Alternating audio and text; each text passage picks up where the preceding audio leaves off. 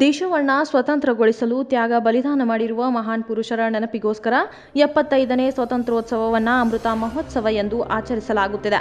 ಇದೇ ರೀತಿ ಖಾನಾಪುರ ತಾಲೂಕಿನಲ್ಲಿ ಅಮೃತ ಮಹೋತ್ಸವವನ್ನು ಅತಿ ವಿಜೃಂಭಣೆಯಿಂದ ಆಚರಿಸುತ್ತಿರುವುದಾಗಿ ಶಾಸಕಿ ಅಂಜಲಿ ನಿಂಬಾಳ್ಕರ್ ತಿಳಿಸಿದ್ದಾರೆ. ಈ ವೇಳೆ ಬೇಸರ ವ್ಯಕ್ತಪಡಿಸಿದ ಶಾಸಕಿ, ರಾಷ್ಟ್ರಧ್ವಜದ ಬಣ್ಣಗಳಲ್ಲಿ ತನ್ನದೇ ಆದ ಮಹತ್ವವಿದ್ದು, ಅನೇಕ ಕಡೆಗಳಲ್ಲಿ ತ್ರಿವರ್ಣ ಧ್ವಜವನ್ನ ಅವಮಾನಿಸಿದ್ದು ಕಾಣಸಿಗುತ್ತಿದೆ. ಬೆಳಗಿನ ಸೂರ್ಯೋದಯದಿಂದ ಸೂರ್ಯಾಸ್ತದವರೆಗೆ ಈ ತ್ರಿವರ್ಣ ಧ್ವಜ ಹಾರಿಸಲಾಗುವುದು. ಆದರೆ ಅನೇಕ ಕಡೆಗಳಲ್ಲಿ ಹಾಗಾಗುತ್ತಿಲ್ಲ. ಅದರಲ್ಲಿ ಮಹತ್ವದ್ದಾಗಿ ಮಹಾತ್ಮ ಗಾಂಧೀಜಿಯವರು ಖಾದಿಯ ಧ್ವಜಕ್ಕೆ ಮಹತ್ವ ನೀಡಿದ್ದರು. ಆದರೆ ಸದ್ಯ ಖಾದಿ ಹೊರತು ಪ್ಲಾಸ್ಟಿಕ್ ಧ್ವಜಗಳನ್ನು ಉಪಯೋಗಿಸಲಾಗುತ್ತಿದ್ದು, ಇದನ್ನ ನಿಷೇಧಿಸುವಂತೆ ತಿಳಿಸಿದರು. ಎಲ್ಲರಿಗೆ ಹಾರ್ದಿಕ ಹಾರ್ದಿಕ ಶುಭಾಶಯಗಳು ಹೇಳಿಕ್ಕೆ ಬಯಸ್ತಾ ಇದ್ದೀನಿ. ಇದು ಬಹಳ ದೊಡ್ಡ ಹೋರಾಟ ಮಾಡಿಕೊಂಡು ನಮ್ಮ ಸ್ವಾತಂತ್ರ್ಯ ಸೈನಿಕರು ನಮ್ಮ ಮಹಾತ್ಮ ಗಾಂಧಿ ನೇತೃತ್ವದಲ್ಲಿ ಝಾಸಿ ರಾಣಿ ನೇತೃತ್ವದಲ್ಲಿ ಜವಾಹರ್ಲಾಲ್ ನೆಹರು, ಸರ್ದಾರ್ ವಲ್ಲಭಾಯ್ ಪಟೇಲ್, ಮಂಗಲ್ ಪಾಂಡೆ, ಭಗತ್ ಸಿಂಗ್, ರಾಜೇಂದ್ರ ಪ್ರಸಾದ್ ಜಿ ಸರೋಜಿನಿ ನಾಯ್ಡು ಜಿ ಇವರು ಎಲ್ಲಾರ್ದು ನೇತೃತ್ವದಲ್ಲಿ ನಾವು ಒಂದು ಹೋರಾಟ ಮಾಡಿಕೊಂಡು ಇವತ್ತು ಈ ಸ್ವಾತಂತ್ರ್ಯಗೆ ಎಪ್ಪತ್ತ ಐದನೇ ವರ್ಷ ನಾವು ಆಚರಣೆ ಮಾಡ್ತಾ ಇದ್ದೀವಿ.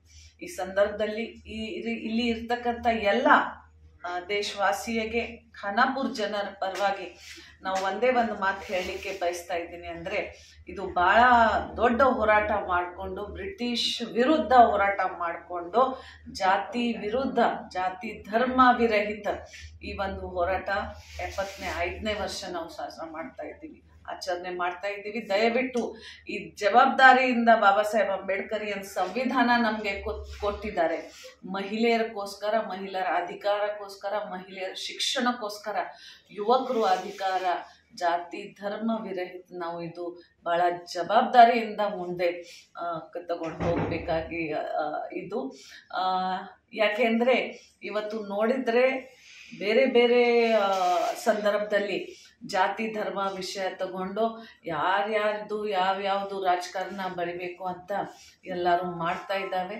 ದಯವಿಟ್ಟು ಈ ಎಲ್ಲ ಸಂದರ್ಭ ಏನಿದೆ ಅದು ಬಿಟ್ಟು ನಾವು ಎಪ್ಪತ್ತನೇ, ಐದನೇ ವರ್ಷ ನಮ್ಮ ಏನು ಇಂಡಿಪೆಂಡೆನ್ಸ್ ಡೇ ಇದೆ, ಸಿಕ್ಕಿದೆ ನಮಗೆ ಭಾಳ ಹೋರಾಟ ಮಾಡಿಕೊಂಡು ಅದು ಆಚರಣೆ ಮಾಡೋಣ ನಾನು ಶಾಸಕಿಯಾಗಿ ನಮ್ಮ ಖಾನಾಪುರ ತಾಲೂಕ ಇಡೀ ತಾಲೂಕಾ ವತಿಯಿಂದ, ಇಲ್ಲಿ ಇಡೀ ಜನರ ವತಿಯಿಂದ, ಪ್ರತಿಯೊಂದು ಮಹಿಳೆಯರು, ಯುವಕರು ವತಿಯಿಂದ, ಪ್ರತಿಯೊಂದು ಹಿರಿಯರ ನಾಗರಿಕ ವತಿಯಿಂದ, ಇಡೀ ದೇಶಕ್ಕೆ ಒಂದು ಸ್ವಾತಂತ್ರ್ಯ, ಎಪ್ಪತ್ತನೇ ಐದನೇ ವರ್ಷದ್ದು, ಸ್ವಾತಂತ್ರ್ಯ ದಿನಾಚಾರ್ಯದು ಹಾರ್ದಿಕ್ ಹಾರ್ದಿಕ್ ಶುಭಾಶಯಗಳು ಹೇಳಿಕೆ ಬಯಸ್ತಾ ನಮ್ಮ ದೇಶ ಸ್ವತಂತ್ರವಾಗಿ ಎಪ್ಪತ್ತೈದು ವರ್ಷಗಳಾಗಿದ್ದು, ಎಲ್ಲ ಭೇದ ಭಾವ ಮರೆತು ಅಮೃತ ಮಹೋತ್ಸವ ಆಚರಿಸೋಣ ಎಂದು ಅವರು ಹೇಳಿದರು.